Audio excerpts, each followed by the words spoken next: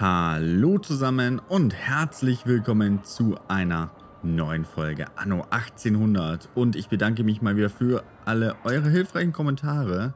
Und zwar was diese Items angeht, denn ihr habt gesagt, pass auf, du kannst hier einfach Oh lol. Das eingeben und dann sehen wir hier Zusatzwaren Brandgefahr plus 150 Prozent. Ähm. Nee. äh, Produktivität plus 40 Prozent. Das ist nice. Brandgefahr plus 100 Prozent. Dafür, nein, nein, das ist auch nicht so. Also wenn, dann überhaupt das da. Und wo bekommt man das? Expedition, Aufgabe, Monument. Prächtige Wissenschaftsausstellung, okay. Militärbelohnung, Forschungsinstitut. Ja, dieses Forschungsinstitut scheint ziemlich strong zu sein. Das heißt, wir müssen wirklich langsam mal in die Richtung. Aber ja. Wir haben sie jetzt erstmal so gelöst. Und es soll wohl noch eine Richtlinie geben, die hier den Radius noch weiter erhöht, aber das haben wir wahrscheinlich noch nicht. Ähm, da. Plus 15 Reichweite für... Oh. Aber muss dafür... Nee. Nee, nee, nee. Die Attraktivität muss nicht hier so hoch sein, sondern die muss... Die muss... Äh, da, wo der Palast ist, hoch sein. Okay, das ist schon mal gut. 1700. Oder 2000... Boah, 2000. Okay, das kriegen wir so schnell nicht hin, aber wir können es nochmal erweitern. Das ist nice. Ähm, damit können wir potenziell die ein oder andere Geschichte hier noch verbessern. Zementmine. Und hier die Kupfermine. Ja, ja. Okay. Soweit, so gut.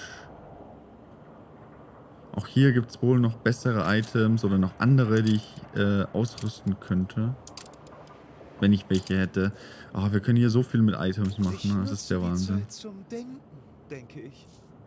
Ähm, ich würde aktuell noch nicht die Fabrik hier aktivieren, weil wir haben A, keine Perlen. Und B, möchte ich mal schauen, wie sich das Ganze auf den Lagerbestand hier auswirkt. Und mit diesen Autos ist das so krass, dass diese eine die ganzen Fabriken hier abdecken kann. Das ist, das ist strong. So, Rohmaterial ist gar kein Thema. Außer halt Kupfer. Da müssen wir gucken, ob das jetzt gereicht hat. Und Zwischenprodukte sieht Eisen erstmal gut aus, steigt auch weiterhin. Messing sieht gut aus, steigt auch weiter. Okay, also im Moment sehe ich hier relativ wenig Probleme tatsächlich, außer Ohne die nötigen der Elemente können Glas. wir keine Reaktion erwarten. Uh, Glas. Okay. Können wir hier noch ein Quarz-Ding? Nein.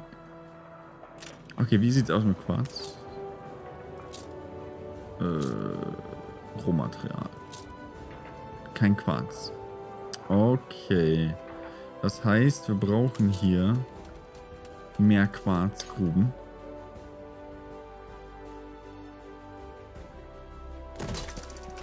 Also machen wir das mal.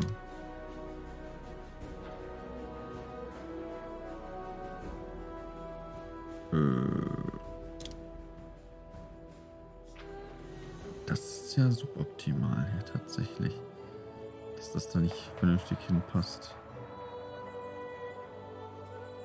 Hm, reißen wir mal das Geschütz hier ab. Ich glaube, das brauchen wir nicht wirklich. So. Ich meine, wer ist aktuell noch eine großartige Gefahr? Die Omera? Naja, die hatten ein bisschen, was hat die schon, aber hält sich auch in Grenzen. So, der hat jetzt zwar theoretisch Strom, aber ich glaube nicht. Oh, doch. Ach, das ist einer von denen, die mit Strom mehr produzieren. Okay, dann haben wir hier noch einen mit 200% Effektivität. Das ist angenehm. Das ist sehr angenehm. Wir haben hier noch drei Schiffe übrig. Sehr gut. Ja, ja, ja, ja. So gefällt mir das. Sind Sie neugierig? Ähm, wir haben jetzt insgesamt eins, zwei im Grunde. Ja, ja. Dann haben wir jetzt im Grunde hier zwei quasi gebaut und hier noch eins. Also plus drei Quarz.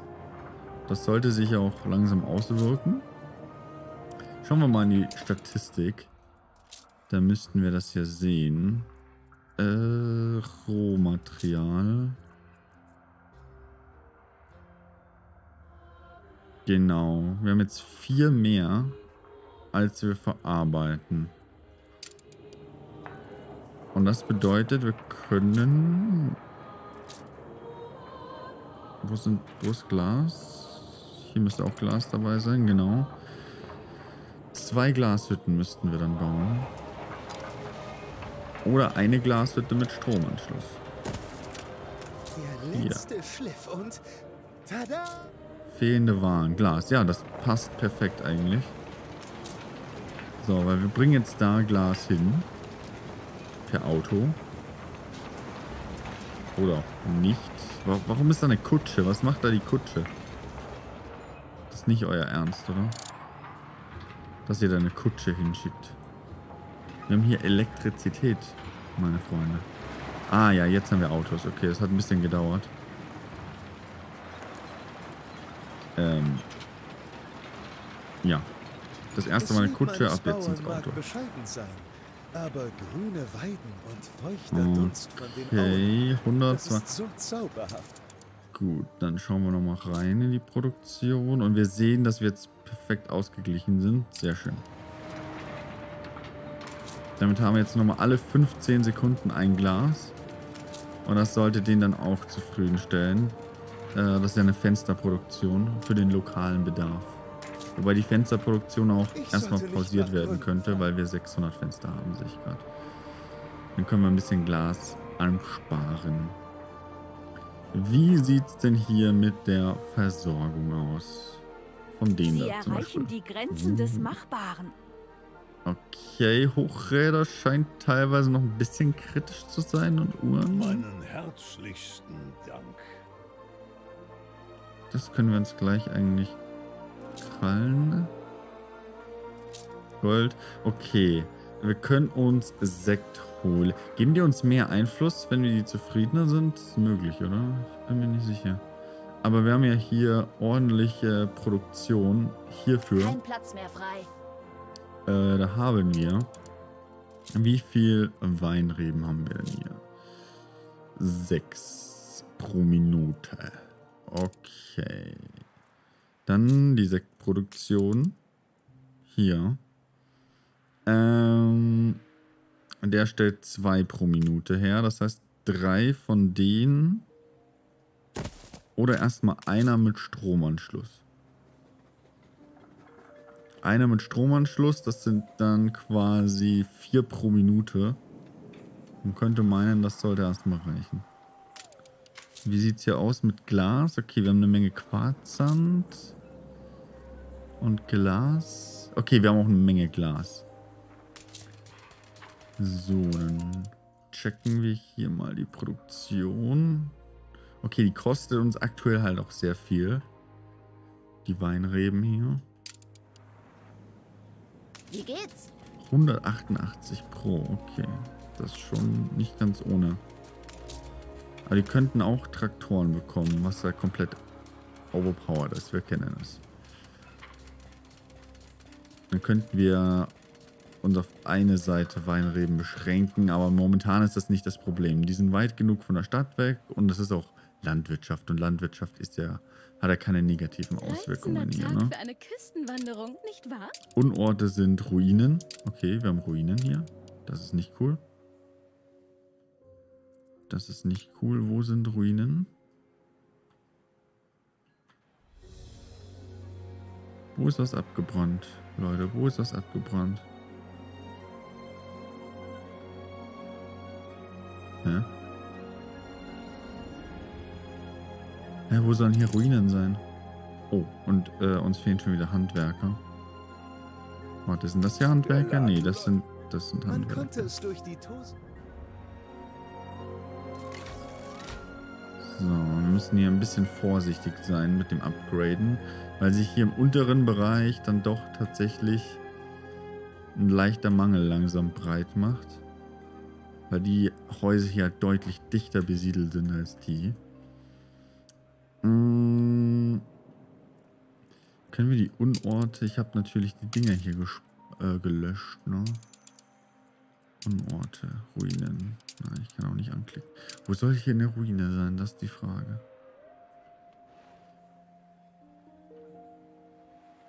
Das wahre Glück mhm. auf Erden. Wo ist hier irgendwas abgefackelt? Das ist natürlich in der Tat nicht schön, wenn hier irgendwas abfackelt. Hm.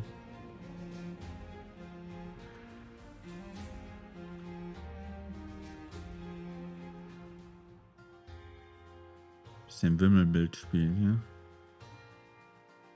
Aber ich sehe nichts.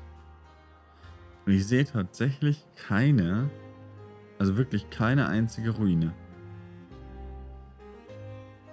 Also entweder bin ich lost, das ist durchaus möglich, ihr wisst Bescheid. Oder irgendwas anderes ist da komisch. Äh, oder damit ist irgendwas anderes gemeint. Umweltverschmutzung, Ölraffinerie. Ja, Schwerindustrie, schwierig. Schwierig. Ähm, aber aktuell ist die Ölraffinerie halt eine gute Möglichkeit. Ach, da ist eine Ruine. Oh. Ich bin zuversichtlich, dass wir es jetzt haben. Die Ölraffinerie ist abgefackelt. Das ist natürlich Wenn schlecht. Sie das für angebracht halten muss. Ja. Alles andere wäre nicht angebracht. Okay, und damit sollte das weg sein. Perfekt. Dafür haben wir jetzt auch noch minus 20 für die zweite Ölraffinerie. Ja, wir müssen mal gucken, ob wir irgendwann das Öl äh, ranschiffen, aber sollte schon passen. Wie sieht's aus mit der Sektproduktion? Wie hoch war der Bedarf und wie hoch ist jetzt die... Okay, der Bedarf ist 3 und die Produktion ist 4. Das bedeutet, dass theoretisch die Leute hier... ein Bankett veranstaltet? Wird doch. Oder? Wir haben doch hier irgendwo ein hier. Im Varieté. Ist doch alles cool. Ähm. Okay, Brillen ist kritisch. Schauen wir mal. Hm, Brillen. Also Nähmaschinen haben wir geregelt. Brillen haben wir auch eine leichte Überproduktion. Boah, Brillen lohnen sich halt echt. Hochräder haben wir auch eine Überproduktion. Der wurde beendet. Okay, den müssen wir gleich verlängern. Der Nicht-Angriffspakt wurde beendet. Okay, Taschenuhren sind ein Der Problem. Nicht-Angriffspakt wurde beendet. Taschenuhren sind ein Problem, okay. Gut, wir müssen jetzt wieder ein paar neue machen. Hallo Willi. Ein Nicht-Angriffspakt. Ja! Jawohl, wir sind bei 100. Hallo Prinzessin, nein, nicht Angriffspakt. Wie Wasser auf einem Heiß. Hallo Anne, nein, nicht Angriffspakt. Ach nee, haben wir schon. Handelsrechte, unmöglich. Meh. Hallo La Fortune, ein Nicht-Angriffspakt. Lassen Sie uns den Einsatz Ja, nimm das Geld. Dies ist die Vermählung, von Nein. ich verspüre Feindselig. Das ist keine Feindseligkeit. Ich weiß nun genau, dass du meiner Politik mit allen Frieden zu haben, außer mit der Omara, im Wege stehen könntest.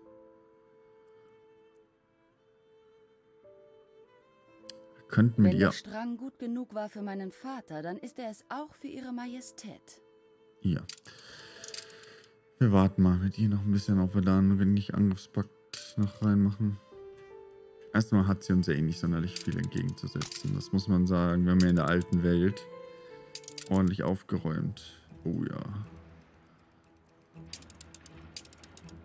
Hier, die Schlüssel. Noch nicht ganz. Die Insel schnappen wir uns natürlich noch.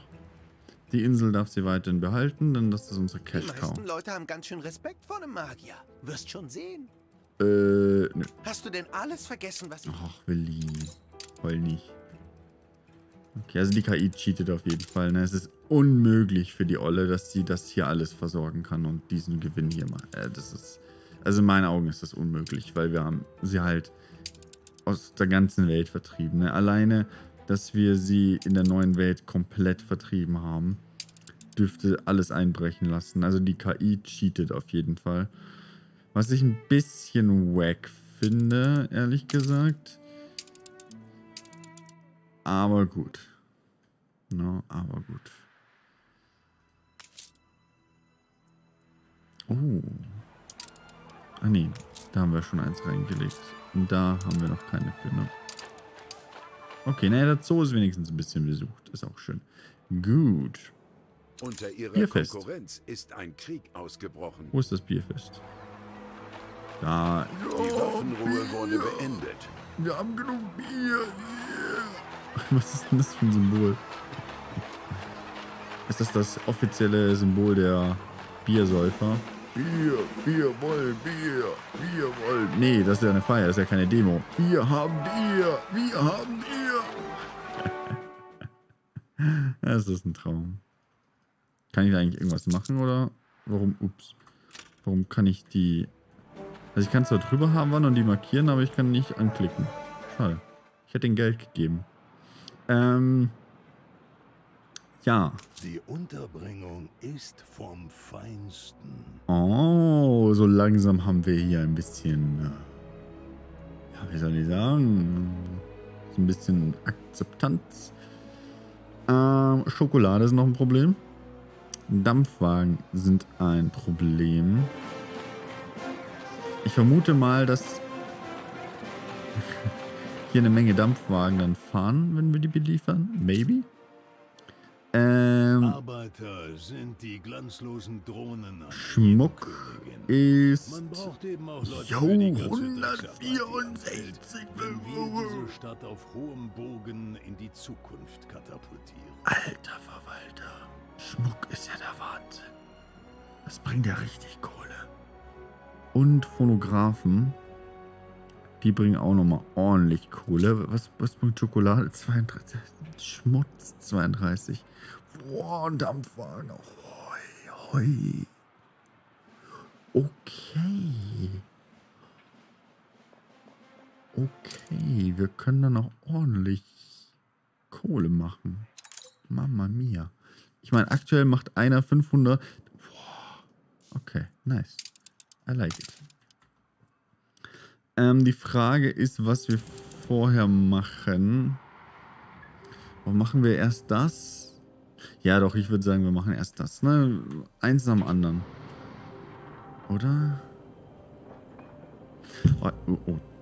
Ähm, ich bin gerade ernsthaft von dem Überlegen, ob wir uns erst weiter um die Leute kümmern. Oder. Wir erwidern deine Güte. Äh, Dankeschön. Oder ob wir anfangen, unsere Armee zu bauen, um die Omara aus Afrika zu vertreiben. Ich glaube, es wäre mal wieder Zeit für ein bisschen Krieg, oder? Ich glaube ja. Aber vorher kaufe ich der alten Schnepfe noch die letzte Insel ab, die ich hier gelassen habe. Die Insel eines Konkurrenten wurde eingenommen. Ja, das ist richtig. Das ist meine Insel. Nee. Komm ja nicht auf dumme Gedanken. Nö, jetzt nicht mehr.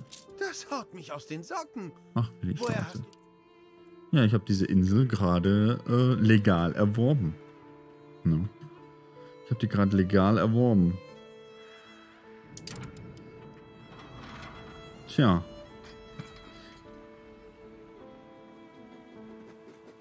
Chancer's Hole. Ich habe gerade gelesen, Cancer's Hole. Ist wahrscheinlich der richtigere Begriff. Ähm, also, unser Einfluss ist gestiegen, dadurch, dass wir die Insel. Wie viel, in, wie viel Einfluss kostet uns eigentlich die Insel? Okay, aber wir würden kaum was zurückkriegen. Ähm. Was hat das jetzt nochmal hier geändert? Ah ja. Verstehe. Minus 5, natürlich. Ja, ja, das ist. Aber ist ja völlig egal. Okay, passt auf. Oh, wir haben die 100 Millionen überschritten, sehe ich gerade. Cup. Wir müssen jetzt ein bisschen Stoff geben. Also. Die Handelsschiffe schicken wir mal darüber. Also wie viel kostet uns jetzt ein Schlachtkreuzer? 60 Stahl, okay.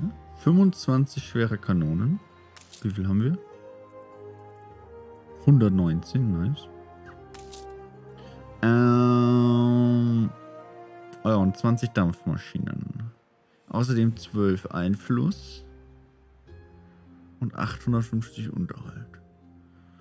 Das heißt, wir bauen mal so 1, 2, 3, 4, 4. Und dann sind die schweren Kanonen am Ende. Okay. Aber nicht so. Jetzt ist die Frage, wie... Wie viele Schlachtkreuzer bauen wir, um ins Kap zu fahren? Also die hat da ja wahrscheinlich... Also die hat jetzt... Sie kann nicht mehr so viel haben, ne? Also wenn wir uns das hier anschauen... Wenn wir uns das hier anschauen... Ähm, davon ist locker die Hälfte nur durch Verteidigungsgeschütze. Das heißt, sie kann nicht mehr viel haben. Vielleicht ich würde mal sagen, maximal acht Kriegsschiffe. Wahrscheinlich ist das noch zu hoch gegriffen. Das heißt, wie viele Schlachtkreuzer müssten wir bauen, um im schlimmsten Fall acht Linienschiffe wegzuholzen? Die Linienschiffe machen mehr Damage. Aber, also mehr Damage pro Sekunde, ne? mehr DPS. Aber wir haben mehr Health und wir haben eine höhere Reichweite. Und wir sind schneller und könnten gegen den Wind immer abhauen. Nee, es ist. Nee, sorry. Für 12.000, für 12.000 da, da bücke ich mich jetzt nicht mal mehr. Ich denke mal, wenn wir so. Ich denke mal, acht Schlachtkreuzer wäre eine akzeptable Flotte um rüber zu fahren, oder?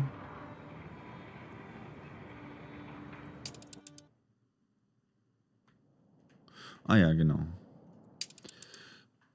Ich meine, wir können natürlich auch die Inseln einfach kaufen. Aber das macht Willi gerade schon. Alter, Willi zerberstet die hier ja komplett. Und hier die... Oh, scheiße. Die Omera. Die ist komplett am Arsch. Ja, das ist schön. Das ist schön. Schadenfreude ist doch die größte Freude, oder?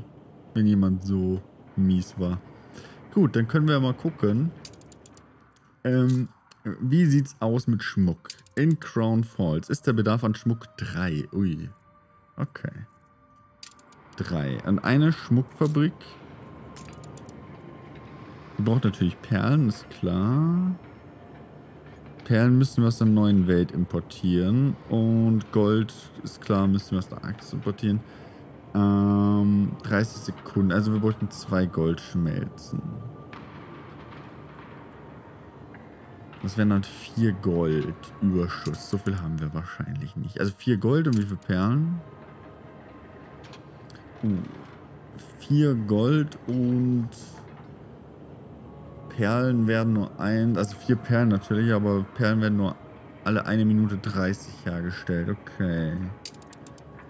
Das ist natürlich critical. Hm, schade, dass wir es hier nicht bauen können und dann mit dem Hafengebäude die Fruchtbarkeit erzeugen, aber das wäre wahrscheinlich zu OP. Ähm, aber ist egal, wir haben aus der neuen Welt eine Transportroute hierher. Das ist schon okay. Apropos Transportroute aus der neuen Welt. Ich wollte mal was ausprobieren. Und zwar haben wir diese Route hier. Auf der aktuell die beiden Schiffe sind. So, und die kriegen jetzt nur noch zwei. Jetzt denkt euch, äh, zwei, ist er mit dem Kautschuk, das ist ja, ne? Aber jetzt passt mal auf. Victoria, Condor und Muschusochse.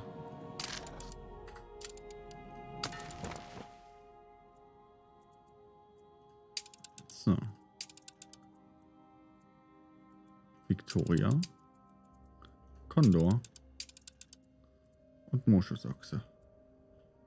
Na, wir warten jetzt nochmal, bis die ein bisschen losgefahren sind und fügen Moschusochse nachher noch dazu, damit sich die so ein bisschen besser verteilen. Ne? Ja, die beiden zusammen ist jetzt nicht optimal, aber mein Gott. Dann haben wir nämlich eine Menge Schiffe da und können auch viele unterschiedliche Sachen, wie zum Beispiel Perlen, hierher transportieren. So, und jetzt ist die Frage, und probably auch noch Gold. Okay, wir haben eine Produktion von 5 Gold und einen Verbrauch von 3. Das heißt, wir haben plus 2 Gold. Das ist nicht schlecht, aber das ist viel zu wenig. Vom Stapel gelaufen. Ähm, alle Inseln auf der Welt, die uns gehören, produzieren wir wie viel Golderz? Ähm, vier. Das ist jetzt nicht so viel tatsächlich. Also wir müssen auch mehr Gold ran schaffen. Okay. Okay, wir müssen mehr Gold ran schaffen. Äh, was brauchen wir noch Gold? Hm. Das braucht Messing. Ach ja, und wir brauchen die Typen, äh, die in den Kommentaren angesprochen wurden. Die ähm, einmal, aber die sind wahrscheinlich legendär und dafür müssen, die, die kriegen wir wahrscheinlich noch nicht. Ähm, dafür brauchen wir dann das Forschungszentrum am besten. Die in der... Halten Sie sich besser die Ohren zu. Wie war das?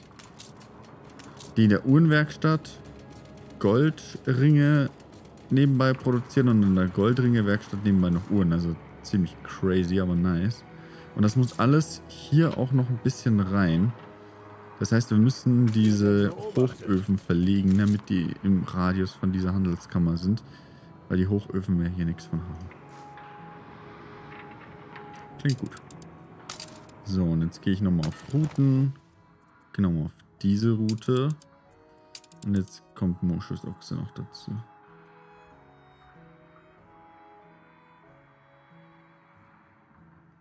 Wenn ich ihn finde. Wo ist der eigentlich?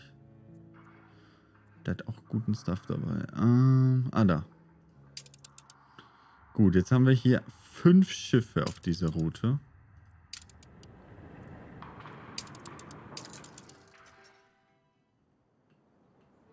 Und davon ist gerade keins hier. Interessant. Aber hier sind ein paar. Hier werden gerade zwei überführt. Okay, die sind jetzt in der neuen Welt und hier kommen die jetzt Leute dann gehen auf die Barrikaden.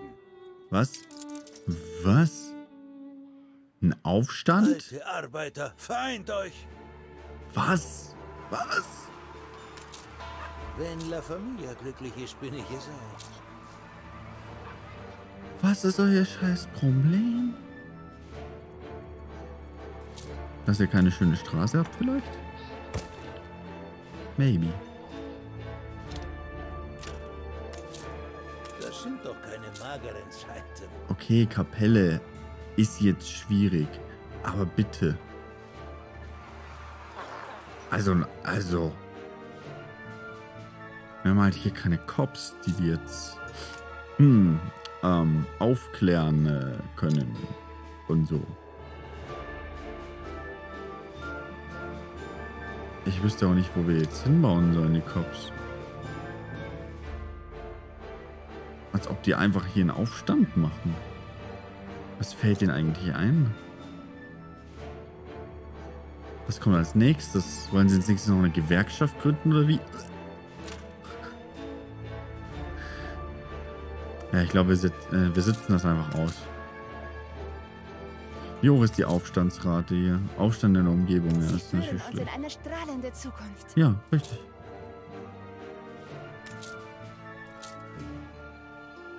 Also ich wüsste nicht.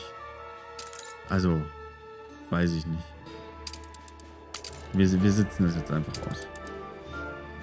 Wir können das sicher aussitzen. Man soll sie ihre Häuser abreißen. Diese Linksextremisten. Weg mit denen.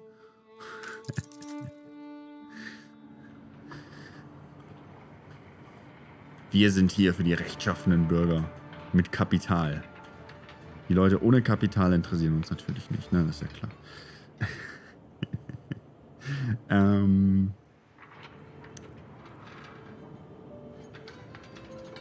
Ja, also wir müssen äh, für mehr Gold sorgen. Aber ich glaube, unser... Er oh. Oi. Die Straßen sind wieder sicher.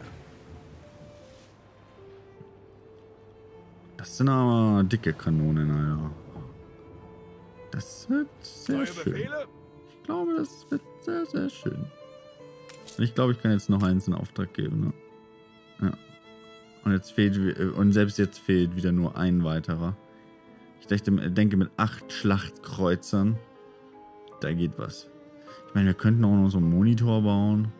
Ein paar. So just for fun. Oh, wir könnten wirklich noch so acht Schlachtkreuzer und vielleicht zwei oder vier Monitore bauen. Die dann einfach so ein bisschen als äh, Kanonenfutter vorfahren. Vier, fünf, sechs haben wir, okay. Ja, es geht voran, es geht voran. Ich würde sagen, das war es soweit für diese Folge. Vielen lieben Dank fürs Zuschauen und wir sehen uns in der nächsten Folge. Bis dann, tschüss.